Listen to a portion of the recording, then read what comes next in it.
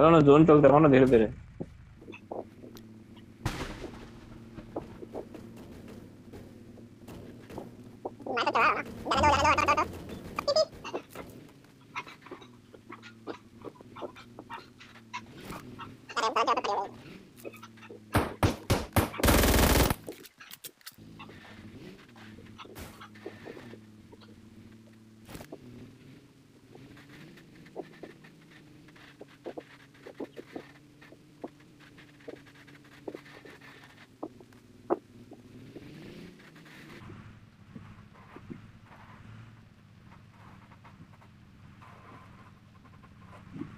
ओ भाई बैठ गए